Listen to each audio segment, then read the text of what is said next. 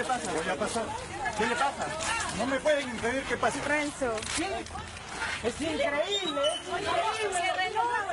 Eso es la que no, no, no. Eso es nuestro rector. Lo único que esperamos de la universidad en sí es la transparencia. Los alumnos de la Pontificia Universidad Católica del Perú continúan en pie de lucha pues temen que el dinero que se les está siendo devuelto por los cobros indebidos que realizó la universidad por el concepto de moras, ahora sea recargado en el costo de sus mensualidades. Queremos que nos devuelvan todo el dinero, perfecto, pero queremos saber de dónde va a salir ese dinero. ¿Va a salir de la plata de los estudiantes?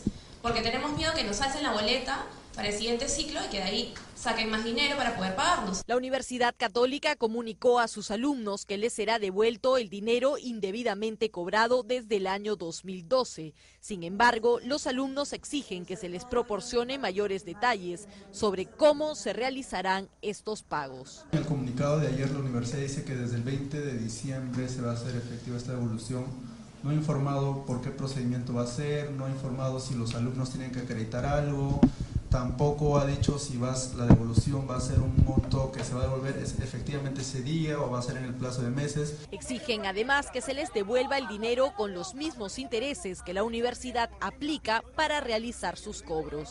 Si bien es cierto, este, los pagos, que, las devoluciones que se han hecho desde el 2016 sí involucran un pequeño recargo de interés, o sea, nos están aumentando un poquito más de lo que nos cobraron, de acuerdo a las disposiciones del BCR. Sin embargo, la universidad para subir sus boletas usa su propia escala de interés, que se llama el interés PUC. Entonces a nosotros nos parece una falta de respeto que ellos sí utilicen el interés del BCR cuando ellos, para subirnos las boletas, utilizan un interés totalmente diferente y mucho más elevado al del BCR. Demandan también mayor transparencia con los recursos económicos de la Casa de Estudios. Las autoridades no nos dan información precisa acerca de cómo se manejan los gastos en qué se invierte la plata de la universidad, por qué y en qué escala nos ponen a cada uno de nosotros. No hay información precisa acerca de eso y la universidad se niega a considerar, eh, en muchas instancias a darnos esa información. El próximo martes 11 de diciembre realizarán una vigilia en los exteriores del campus, puesto que al día siguiente se llevará a cabo una asamblea universitaria, a la cual los estudiantes no han sido convocados.